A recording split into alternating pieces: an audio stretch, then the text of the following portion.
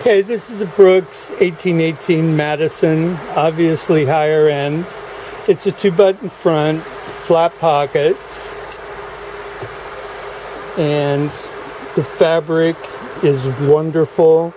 It's an E. Thomas cashmere blend.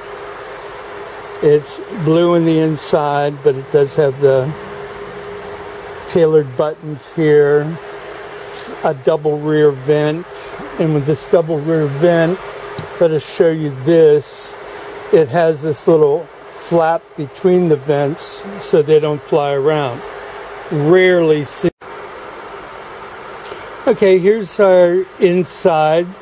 We have the cut in there and you see that it's the E. Thomas woolen cashmere, which is a really fine fabric. You can see this is basted along the seams.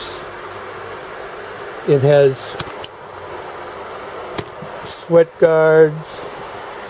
Over here we get a little bit more information. Here's our label. I don't know if it's no others.